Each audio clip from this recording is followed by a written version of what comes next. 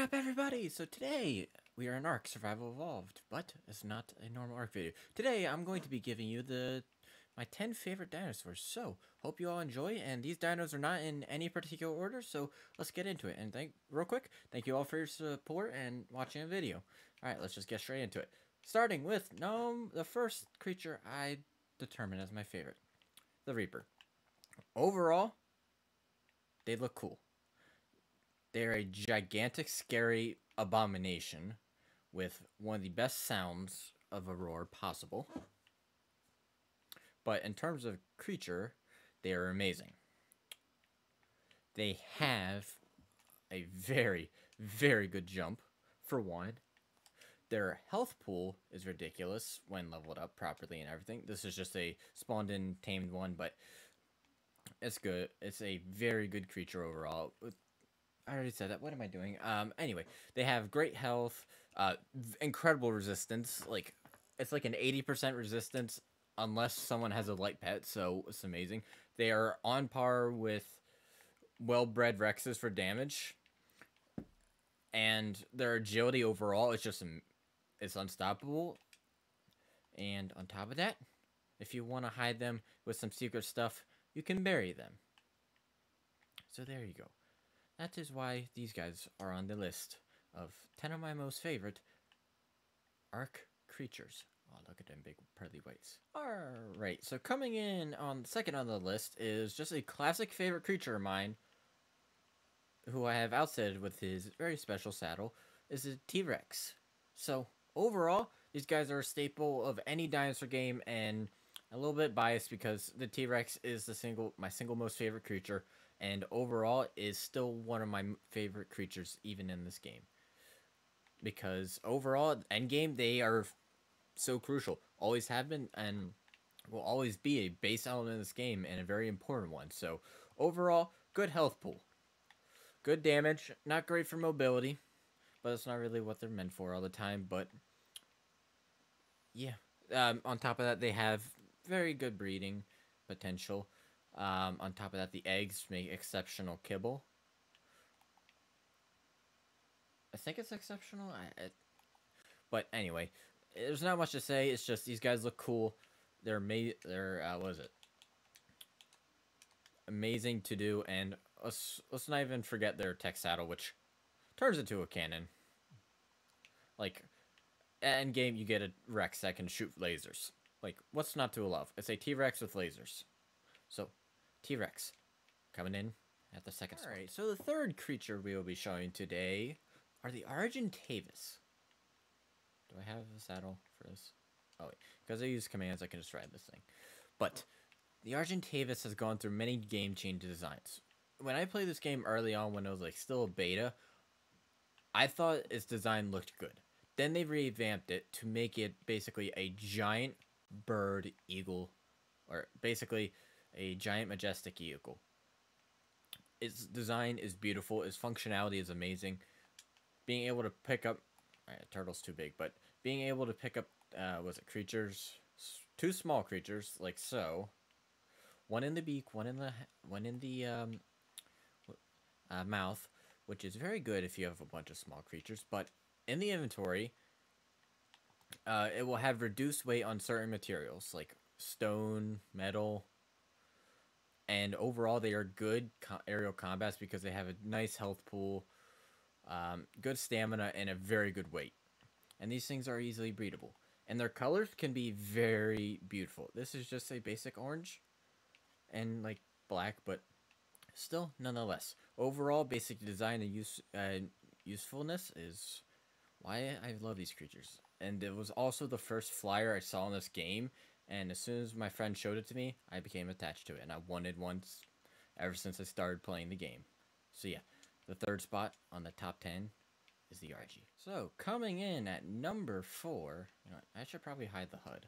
But coming in at number 4, we have the Lightning Wyvern. Now, I could have just said Wyverns, but specifically, it's the Lightning Wyvern. Overall, the Lightning Wyvern isn't my favorite appearance wise, but in terms of his breath, it's, a, it's my favorite. I love the beam, how good it is, how strong it is, accurate. But overall, and the sound. Let's not forget the sound. The sound of that lightning, oh, it's just amazing. But wyverns overall are just, let's see here. They are fast, they are strong, they are tanky. They don't have a saddle, which is a bit of a downfall, but they are worth it. It is worth it. For the amount of damage, weight, and uh, transport you can give these things, as well as travel speed, is just amazing. There's a reason these are some of the most sought after dinos in this game. And who can be, like, let's be honest, it's a dragon. Who can hate it? Who can hate a dragon? If you hate dragons, I don't think I can call you a human being, to be honest. Alright, coming in in the uh, fourth, no, fifth slot now, is the original big bad of the game. The boss the like first real challenge most people will come across in this game is the Giga. See, when I first played through this, I thought this creature would be like everything else once you tamed it. Like, oh, it's going to be far stronger than it was in the wild. You can just go out and kill everything now. Like, it'll be the top apex predator. Nothing can stand up to it. Lo and behold, I was wrong. The first thing I did when I challenged these things is, one, go tame a wild, uh, go challenge a wild one. Did not go well. But, but, they are still strong nonetheless. And even stronger when you breed them. Their base stats don't change much, but leveling only in melee is probably the best thing. But the damage these things do is just uncompared. Like, in terms of, what is it, PvP, which I don't do much of, but I'll still mention, these things are top tier. The amount of, like, structures it can destroy just, or damage overall, structure dealt up to stone, it's just, like, nothing can compare to the fear of a Giga. Like, like, What, what would you do if you hear that? You would run in terror, because you should be. It's the Giga. It's known for being the biggest terror in the world on the sir uh, on the on the Arks. So yeah, the Giga overall, its sound, its fear, and its strength is why it's become one of my favorites. All right, so coming in at number six, we have the Giga's newest cousin, the Cardon Carcharodontosaurus. I've always struggled to say a name, my friend makes fun of me for it, but these things look amazing. These things, design-wise, are amazing. Oh, I got a sneak peek of what was coming up, but oh well, probably get cut. But overall, the design of these things are amazing. But what I love most about these things, despite not overall uh, being the most damage dealing compared to a Giga, the best thing is their versatility one, they are faster. Two, um, they're more survivable. Basically, overall, these things are very similar to a Gigas, but they have less damage but more versatility.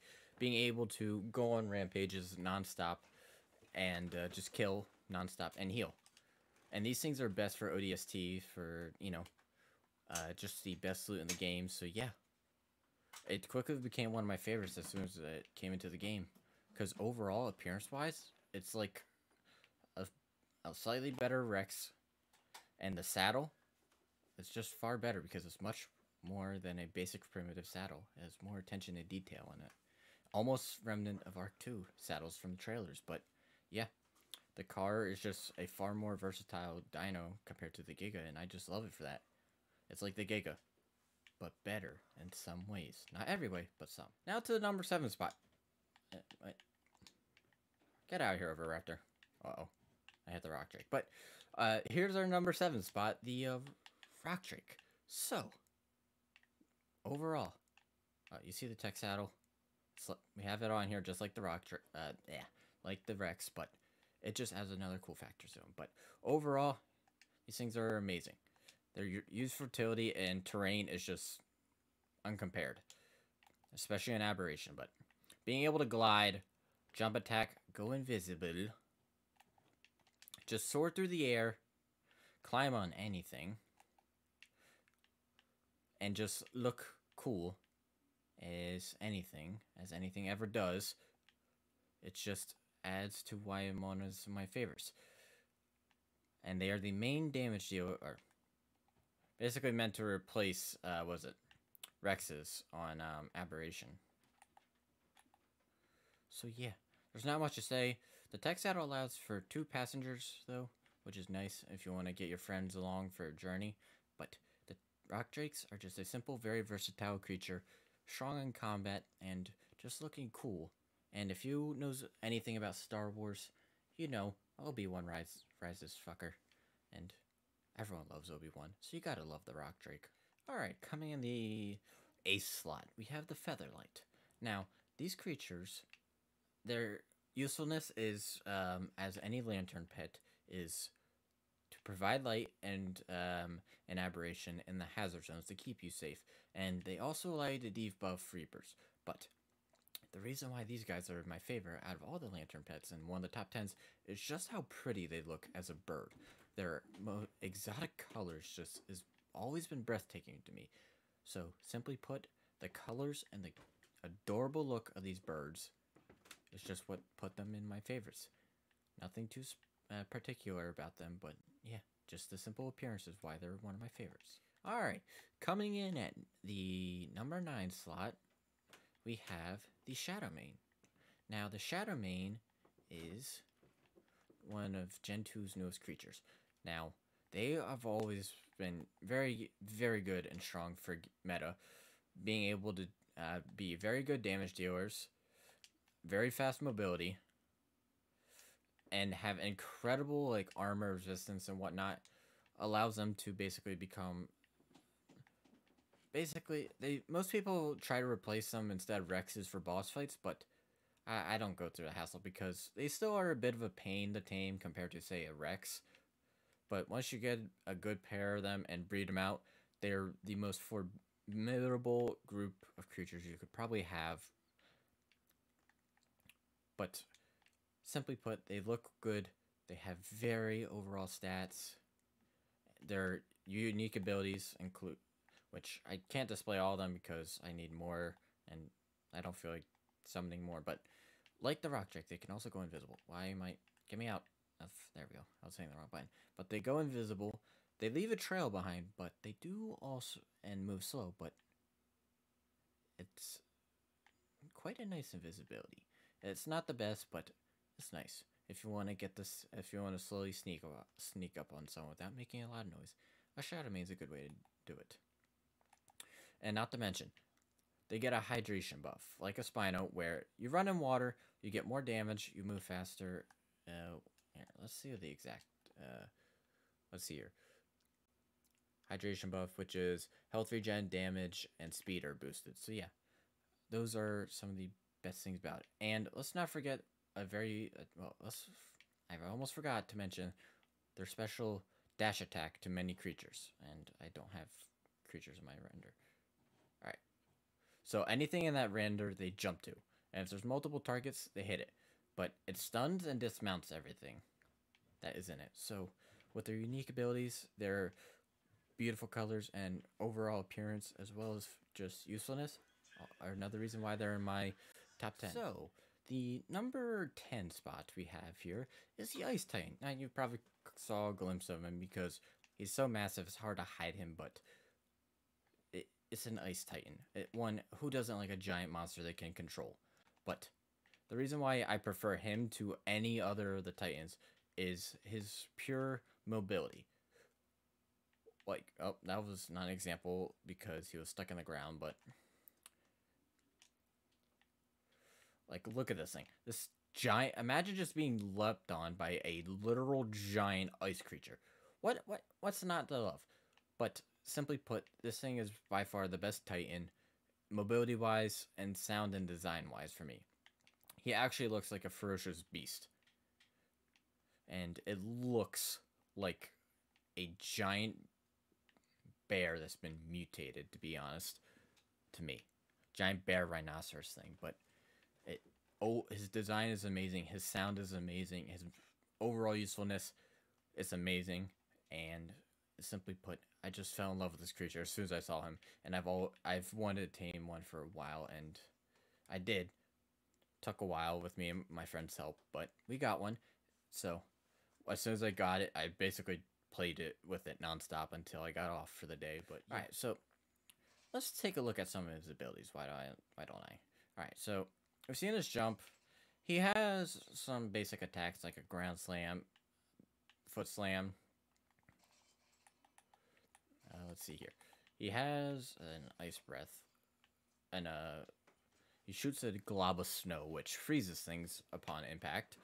Does a fair bit of damage. There's the ice breath, but it'll freeze anything directly below him, which allows you to just smash upon it and on. And we froze the Diplo over there, which is quite far actually. So this dude's attacks are very useful. So that is why I love him.